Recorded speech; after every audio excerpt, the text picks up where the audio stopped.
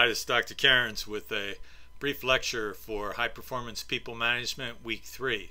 Let's first of all review our roadmap, where we're going, how we're going to get there. Our objectives are to engage in critical thinking, observe human behavior, and apply the principles, tools, and techniques and methods that we learn. It's my desire this course results in a positive life-changing experience for you. We've designed the course with that in mind. Whether you need something personally, professionally, or spiritually, we're making daily mention of you in our prayers. Let's look at faith and people management. People management and faith.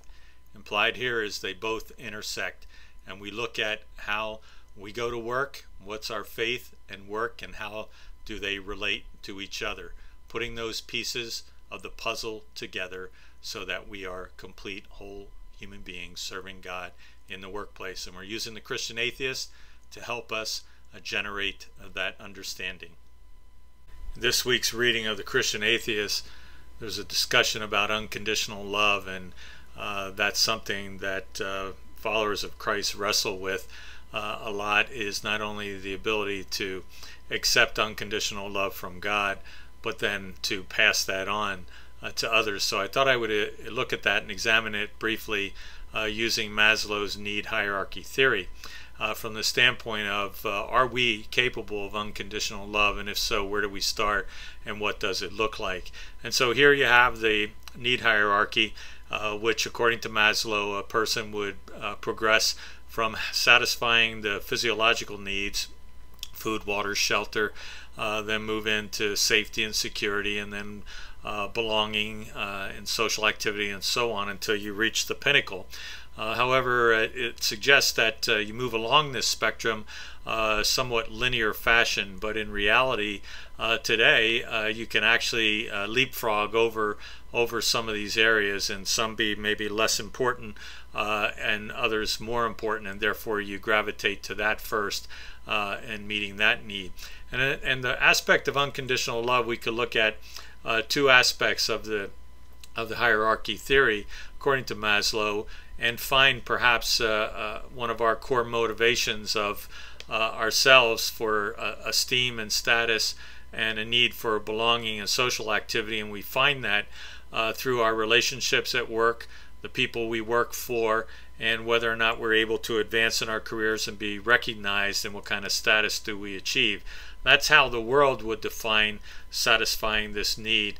Uh, but we realize that there's more than that. So, uh, what would be the definition of how God would look at it? And we find that in Luke chapter 10, verse 27, where Jesus uh, is asked, What's the greatest commandment? And he says, To love the Lord your God with all your heart, soul, mind, and strength and the second is to love your neighbor as yourself. So that's important for us to understand, but it starts with yourself. So let's go uh, examine that a little bit deeper in terms of esteem and status. What in the world does that really mean? It, it means having a positive self image of ourselves and also respecting ourselves. And then there's a, a part of being respected by others. And again, that's recognized through advancement, recognition, and status as the world would see it. But we need to caution ourselves in regards to that because that's really how the world would define it. Uh, but uh, it, we know as a follower of Christ in a Christian worldview, that would get defined somewhat differently. So, what I'd like you to do is take a little exercise, uh, a piece of paper, draw a line down the middle uh, vertically, and on the right hand side and the upper right hand side, write strengths. And on the upper left hand side write weaknesses. And then I'd, like you to identify and list uh, 10 of each uh, one. And you'll probably have no problem rattling off your strengths, but the weaknesses may give you a little bit of pause. But I say, you know, work at that. Be honest with yourself. No one else is looking at this, just yourself uh, as well. So acknowledge your strengths and your weaknesses. And later on in the course, we're going to look at your strengths according to Strength Finders. So, what's some aspect that I could do to put some things in perspective to have a positive self image, have self respect, and be respected by others, but also not placing just so much emphasis on my own uh, status and advancement. So I need to set realistic expectations for myself, set aside this notion of achieving perfection, be really aware of my behaviors and my actions on others, stop comparing myself to others, and then accept my accomplishments, but also accept my mistakes. Okay, this week in week two of uh, Rango, question, do you think Rango is a type A or type B personality? And essentially, uh, the definitions, uh, for lack of something maybe more in depth, is A, a type A personality is the world won't spin unless I push it. And a type B personality would be if the world stops spinning, let me know. And so whether or not you felt uh, Rango was an A or a B, the essential thing to note from there is that both types are effective. And so the extreme type A individual, very competitive, uh, the B, a little bit more laid back. However, and we've heard the expression you lead from behind or lead from the front.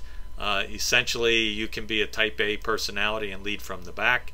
Uh, you could be a type B and really lead from the front. Uh, so essentially, it's sort of look at this uh, aspect, and what we come away from is really what is the type personality that you want to have to be most effective. And so it may mean modifying and adjusting our personalities from time to time and our uh, type A and type B. So, which personality type is more effective? Well, you decide. I say it's the situation that will determine it. And then secondly, which personality type is more prone to coronary disease? Well, that's the one you want to avoid.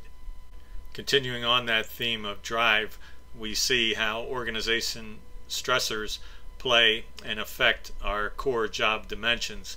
And you may think that a type A personality uh, may be able to just uh, steamroller those uh, organizational stressors and perhaps the type A personality creates more stress than they actually resolve, or the type B uh, may be able to, to deal with uh, stress a little better. And certainly uh, the type B probably has a little more control of stressors as it relates to the job. But it's important to see how uh, these things uh, set our hair on fire and, and it's important for us to learn ways to manage those. And so we have various coping mechanisms available to us uh, exercise, finding time to relax, read a book, go to the beach, see a movie, uh, play different roles, have support groups. Uh, and then in the center there is time management, which is the most important aspect uh, that we, we need to really focus on are better ways to manage our time. And we may think that we have less control of our time than we actually do. Uh, and perhaps that's because we commit to more things than uh, we possibly should uh, or we don't say no, uh, or we just want to take on more things. Now, I say that knowing that most of you are working and going to school. And so you're saying, well, how can a professor say and lay all these things on me when I've got to juggle school? Well, you chose to go to school, which is a good thing, by the way. Uh, and you may think, well, once that's over, I'll recoup my time. No, now is the time to really manage exactly everything you put into it because once that time uh, goes, it's filled with something else, and you want to be thoughtful and purposeful uh, when filling those things. Next, I just want to look briefly again at the interaction of faith and organization theory and practices. And I talked about this uh, continuing process of us looking at uh, these theories and tools and practices that we're studying. How can we use those to uh, have better relationships, have uh, a sense of purpose and meaning in the jobs that we have, and a life of integrity? And how does Scripture relate to those? And how can these things help us actually serve God better at work? And so this week I want to pull out one that actually hits all three uh, areas. One helps us sustainable relationships uh, helps us with a meaningful career and a life of integrity, and that's found with the goal setting theory of motivation. And uh, focused here is goal directed effort and performance. Setting goals that are difficult, setting goals that are specific, and you've probably heard this before, is also praying specific prayers, accepting the things that we have and committing to those. And out of those, we will receive our intrinsic rewards and extrinsic rewards and ultimately satisfaction. And so we find in 1 Corinthians 9 24 where Paul writes, Do you not know that those who run the race run all? Everybody runs the race. So we could say we're all in that rat race together, but only one receives the prize. And so you should run in such a way that you're going to obtain it. And you're doing that aspect obviously with your uh, increasing your education, your skill experience, and all those areas.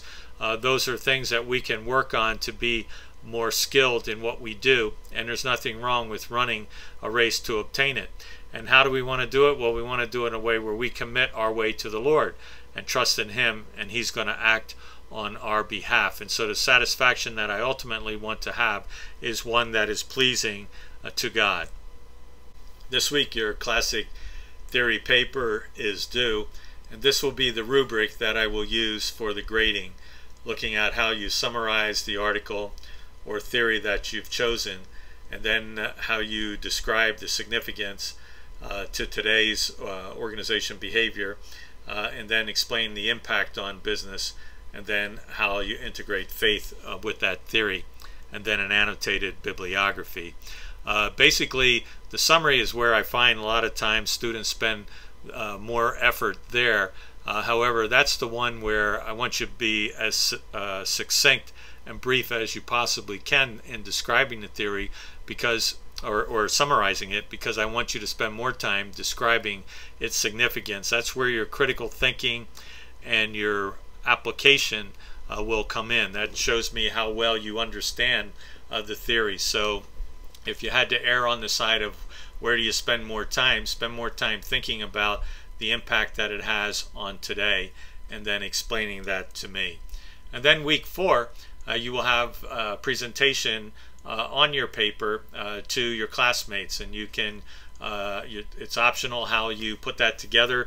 This uh, template is provided as an example of the areas to cover, uh, and you could use this template if you choose, uh, or use some other fashion.